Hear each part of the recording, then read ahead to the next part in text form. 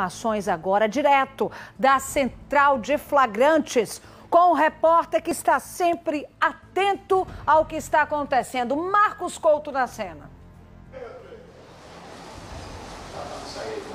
Boa noite, Mariana. Boa noite a todos do Cidade Alerta Sergipe. Uma ação no combate ao crime, 5 Batalhão, Força Tática e mais uma guarnição. Conseguiram prender três pessoas. Um casal estava no mutirão do conjunto João Alves, no município de Nossa Senhora de Socorro. Adivinhem os senhores? 5 quilos de cocaína. A outra pessoa presa foi no loteamento Novo Horizonte, no Marcos Freire 3.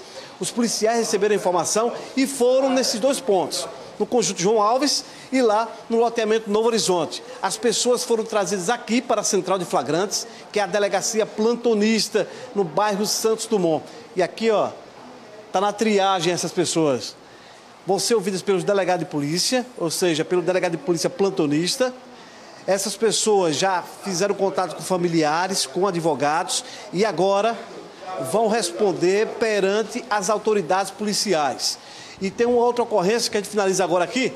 É rapidamente, eu estou aqui com um minuto, esse cidadão aqui pediu a nossa ajuda, foi agredido um condomínio no município de Barros Coqueiros, pede as imagens ao síndico e nada. É isso? Boa noite. Oi, eu cheguei em casa com minha esposa e meu filho, que eu peguei na escola e fui botar na minha garagem.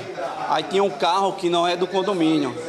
Aí na hora eu fui estacionar, a pessoa arrogantemente se identificou como promotora e eu disse que eu era morador e que não era cachorro, era gente, era homem.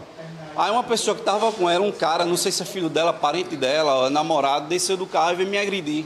A minha e minha esposa só não agrediu meu filho porque tem três anos, estava dentro do carro, não tinha tirado da cadeirinha. Você pediu as imagens ao síndico? Solicitei as imagens do condomínio, estou aguardando até agora, já faz mais ou menos uma hora e meia e o condomínio não, não me forneceu ainda. Vamos acompanhar esse caso. Mariana, problemão, veio parar aqui na Central de Flagrantes. É com você.